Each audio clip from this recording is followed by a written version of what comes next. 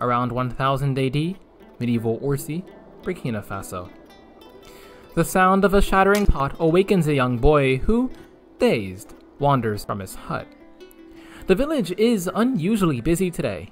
Men, women, and children hurry about, delivering mud, straw, and dung to masons who shape a mixture of these into rough bricks that dry in the Sahelian sun. One of the masons, noticing the half asleep boy, asks him to refill a calabash with sorghum beer. As the boy does so, he watches the masons shape their mud into rough rectangles by hand, fussing over details until they're satisfied, and when they are, running their fingers along the surface as a finishing touch. The plan, one tells him, is to build seven new huts, a notable expansion of the village ushered on by a population increase, a population increase itself brought on by connections to West Africa's growing trade networks. But though they've heard of them through the tales of passing caravans and pastoralists, the vast metropoles of Djenné Djenno, Ile Ife, and Kumbi Saleh are distant to even the most well traveled of Oursi's villagers, uh, completely beyond the scope of our boy's imagination. More tangible to him is the cow the villagers have bought from the pastoralists to eat in celebration. These seven huts will become the first of the Oursi Hu-Beero house complex, which will prosper for one or two hundred years until it and the entire 14 house village will be burnt to the ground. But because Oursi Hu-Beero was destroyed so suddenly and for an archaeologist so perfectly, it gives us a small light, illuminating, even if only briefly, what it was like to live in medieval West Africa. The 300 square meter Oursi Hu-Beero house complex, which could have housed anywhere between 5 and 75 people, was built of mud brick, mud mortar, and wood easy to get materials for the villagers of Oursi. They would have probably harvested their mud from the Mer d'Oursi, or translating from French, Oursi Sea to their south, a sort of natural water reserve surrounded by sand dunes and sustained by yearly rains. It's hard to give Oursi Hu-Beero an architectural style. Uh, not only is it unique among known contemporary structures, it's also pretty obviously different from anything built in the modern era but that doesn't mean that it can't be compared to contemporary, or modern, traditions in Burkina Faso and neighboring countries. Some of the most interesting design choices are the two story room at about the center of the complex, which was probably a shrine, and the use of a roof as a kind of terrace. This would have probably been accessed by a ladder made of a log leaned against a wall. But though modern groups as far north as the Dogon of Mali and south as the Somba of Benin and Togo cut notches and other designs into these logs, we don't know if this was done at Oursi. The charred remains of the log found at Oursi Hu-Beero show no evidence of carving. Climbing on top of the roof, one would have seen people engaging in day to day activities, uh, notably preparing food by grinding grains like pearl millet and sorghum into fine powders. These, alongside cowpeas, were important staple crops used across West Africa that were eaten along with hunted lungfish, catfish, and tortoises, and domesticated animals. That said, while we've found evidence of animal husbandry alongside the spears and arrowheads that could have been used for hunting, no agricultural tools have been found in Oursi Hu-Beero. There's a chance, then, that the people there weren't farmers, and if this is true, then it might show that the village of Oursi invested into craft specialization, meaning that people, uh, well, uh, specialized in making certain goods which they then traded with others. Usually, this is associated with an agricultural surplus, meaning that a group of farmers made more than enough food to feed themselves, which means that they had extra food to trade. So, in other words, the people in Oursi Hu-Beero might not have needed to farm because they could trade something they made for the food that they needed to live. So then, what were they making?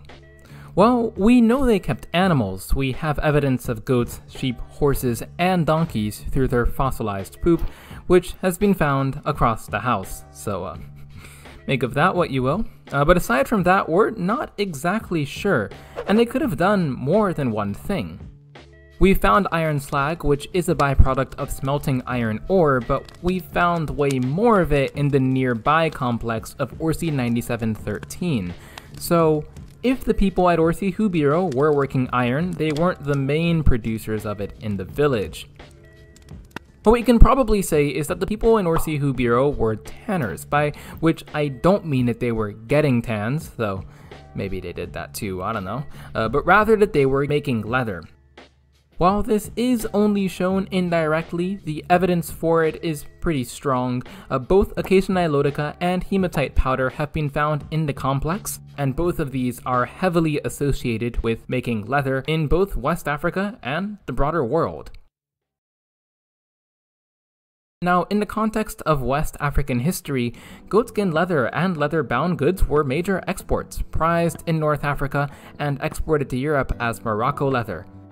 Of course, we already know that people were keeping goats in Oursi Hu-Beero, meaning that while it's impossible to know, it's entirely possible that Oursi was one of the areas where that famous goatskin leather was made.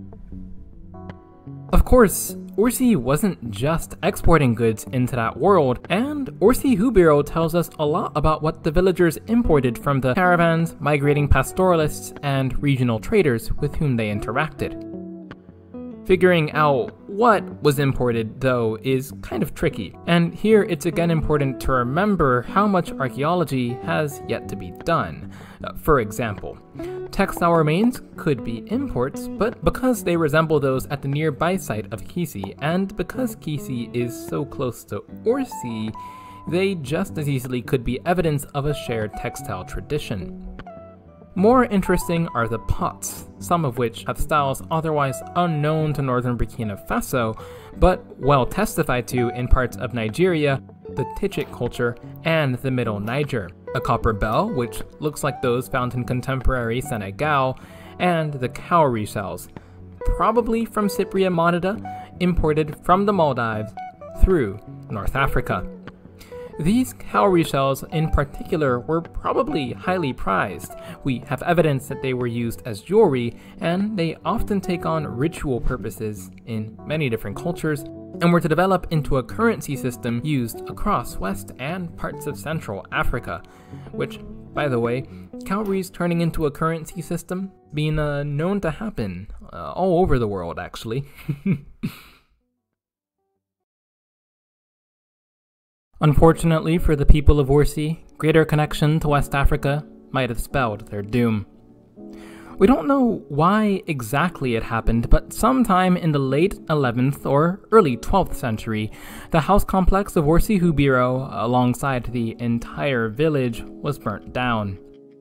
That this was intentional seems hard to avoid, aside from the fact that we're dealing with mud brick buildings that would have been pretty hard to set ablaze. We should note that all 14 compounds in the village were lit on fire, all of them mud brick. The question turns to why the entire village was burnt to the ground. The archaeologists who worked on the site are skeptical of the idea that the attack was a slave raid because, according to them, it was an act of, quote, political and strategic violence and couldn't have been a slave raid because nothing seems to have been stolen. Yet, while I do agree that slavery is an often overemphasized element of African history, I don't personally agree with excluding the possibility. Slaving was a worldwide industry, and the argument here implies that the main goal of a slave raid is to do anything but rob a site of its people. On the other hand, one should be careful not to overstate the case for a slave raid. A chain has been found on the site which might have been used to keep slaves, but by the same token, it just as easily could have been meant to secure a horse, and the room within which it was found has a wooden post, suggesting that it could have been used for just that.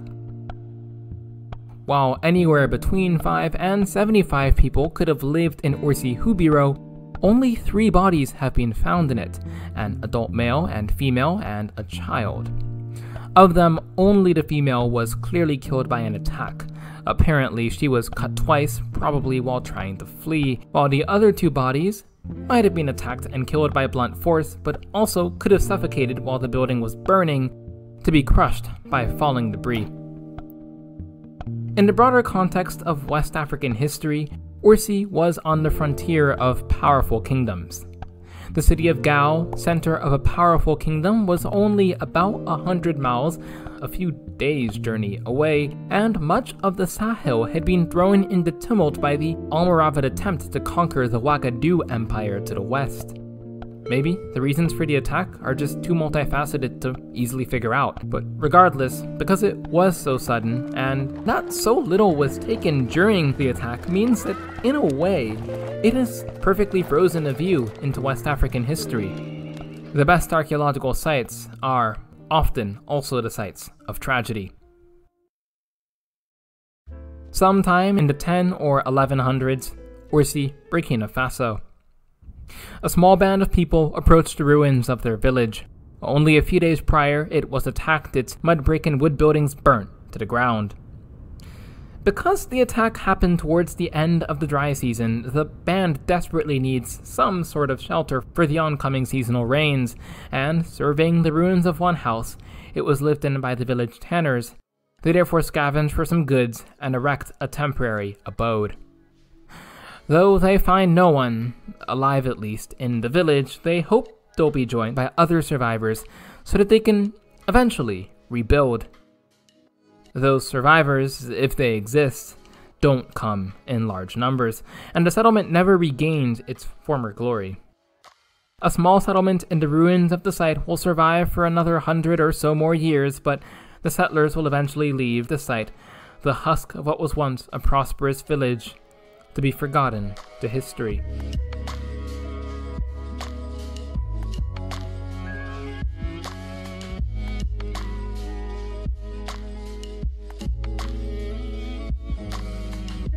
Everyone, I uh, hope you all enjoyed the video.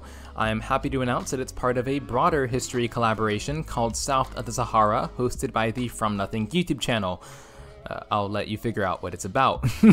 but if my upload schedule leaves you wanting more African history videos, then uh, make sure to check out the playlist somewhere on the screen. Uh, also, I've made a Twitter account where I post more often than on here, which, to be honest, that's not really saying much, but hey, uh, mostly it's photos of things that interest me from pre-colonial African history, so if you guys like pictures, then check that out.